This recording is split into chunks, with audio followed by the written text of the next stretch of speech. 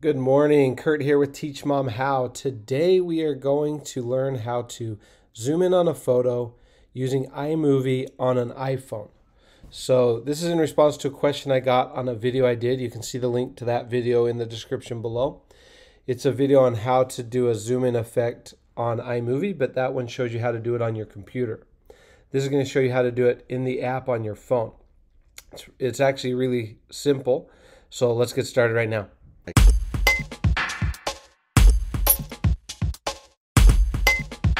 Okay, first off, you need to start your movie project. If you don't already know how to do this, you click on Start New Movie. Again, we're in iMovie is the name of the app. Comes free on all iPhones. And then when you start your movie, it's going to ask you what clips or pictures you want in that movie. You can obviously add others to it later, but let's um, choose a few photos to throw in here to start out.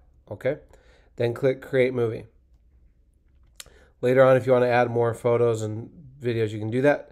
The point of this video is to show you how to do this zoom in effect like you see here. That's also known as the Ken Burns effect, okay?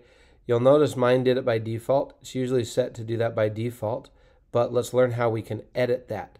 For example, this one zooms in or zooms out kind of, but it never shows the frog that's in the picture, okay? So let's adjust that to show what I want. Click on the picture.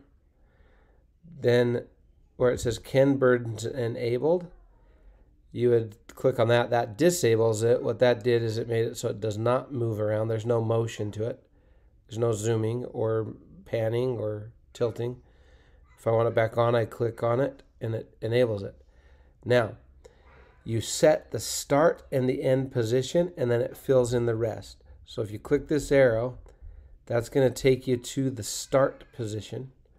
And you're going to pinch your fingers and slide it around, okay? So pinch them or stretch them to zoom in, okay? So if I want to start, let's start like right here. Okay, we'll start right there as our start position. Then click the other arrow. That goes to the end position. This one I'm going to touch with two fingers, my thumb and my index finger. And I'm going to zoom in. And then one finger will allow me to... And then one finger will allow me to move the photo. Okay. So that's going to be my end position. And now if I go back, push play, you'll see it zooms in how I set it to zoom in. Let's do one more just for practice. Okay, here's a picture of my son looking like Harry Potter. All right, maybe I want that one to zoom a little differently. So I click on that picture, make sure I'm at the start position, pinch or stretch my thumb and my index finger to zoom in or out.